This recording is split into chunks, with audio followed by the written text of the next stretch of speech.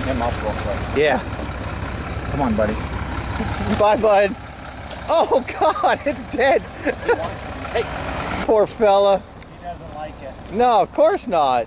Uh-uh, you stay. You stay. Here's your toy. There you go. He likes to bite. There you go. All right, buddy. It's a bad habit. We'll say bye-bye. Oh, shit. All right, let me go get. That dog's crazy, man. I wanted to give you guys just a quick little uh, a quick little tour of the inside of my office here. So this is my nine to five. Uh, this this is my office. So let me set you guys up and show you what we got from a driving point of view. So of course we're looking out my window and we're in front of a dumpster now that's being filled with like a marble type, uh, some type of a synthetic marble and um, it's for like countertops and all types of stuff like that. And things that they make that the, that comes out bad we haul it to the landfill. And that stuff's really super heavy. So that's half loaded and then they're gonna put some toward the back of the can and then I'll snatch it up. And I got a can on my truck right now um, so what if they're live loading actively loading what I'll do is I'll just leave my cable connected and I'll drop my can to the ground and they'll load it and then I'll just pull the can right back up and go to the landfill and then come back and then they can continue to load the uh, the other dumpsters that are here. But we deal I mean we deal with all types of companies. You got Atlantic Waste you got this blue we got waste management. We got all types of companies here that they use so they spread the wealth pretty well.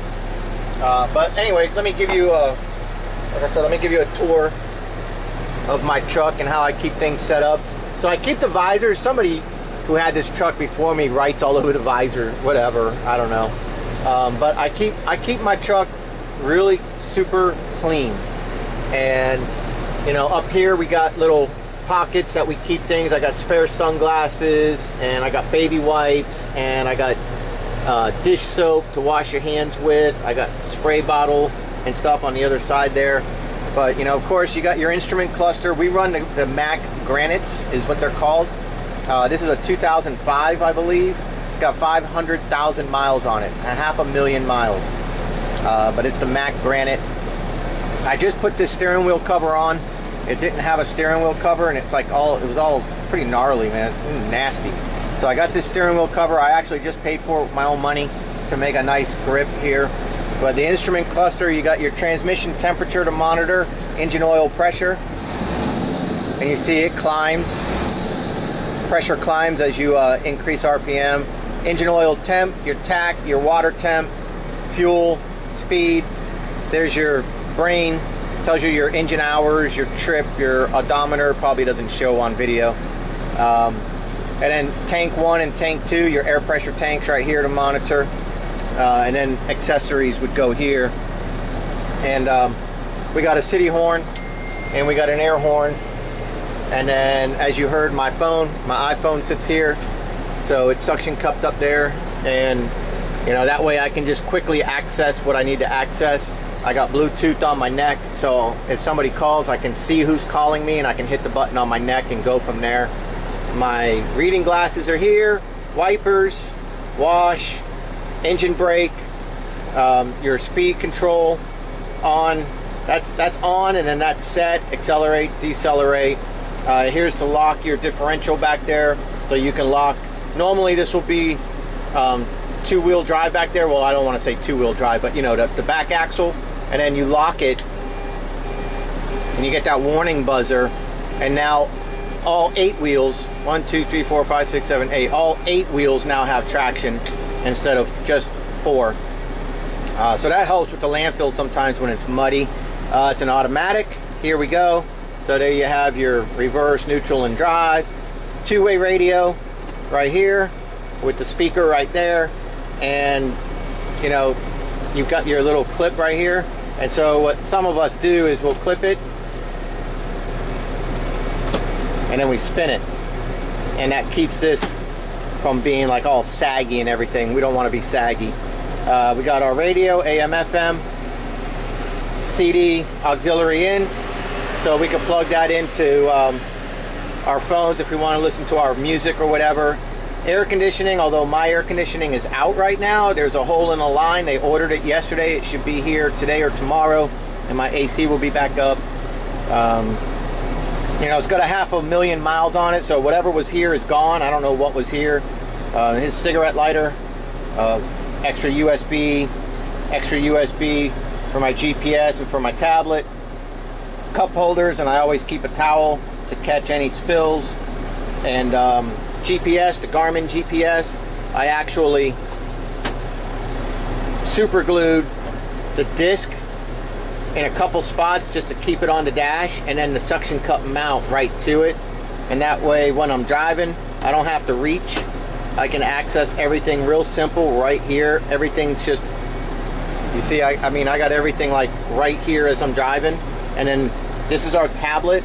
So this tells us our jobs right here. And you can go from here you can just hit map and it's going to map to your location or tell you how to get there. So this will run you and I'm there. Um, now if I need to go from here to another location I can put it in here or I can put it in there. The Garmin is more accurate than the Google Maps that's on this tablet. This one is is more accurate. And, and although I need to bring this this Garmin home I need to plug it into my computer and um, update it this is about 90% accurate, but not nearly as accurate as the Garmin. That, that thing's really good. Uh, this is supposed to illuminate to let you know that you got your PTOs on. So you're not driving with your PTOs on because you could burn up your PTO. Um, so anyways, that's here. And we do a lot of our work here. You know, a lot of our paperwork is done on the tablet. And then also on here. And I actually purchased this, um, this cover because you keep your weight tickets and stuff in here nice and neat. And you know I can write nice and neat on here and I keep that in my little mat pocket right here. I keep Lysol disinfecting wipes so I can wipe my hands and stuff. My my um, hard hat for going on construction sites and the landfill. Turns on your PTOs turns on your your back work lights raise and lower your boom um, let out and bring in your hoist cable. And then I got my VCR right here, which is your vehicle condition report. I bought this black uh, case and I keep it right here out of the way. Why do I not keep this in here? Because if it's, when the two of them are in here, then my paper gets messed up. And after doing this a bunch of times a day, um, then we have a, we have a problem. Um, when I turn my paperwork in, it looks like trash and I don't, I don't like to look like trash. So there's that. And then, you know, people before me were slobs and they got pens and stuff in their hand hitting here, but whatever.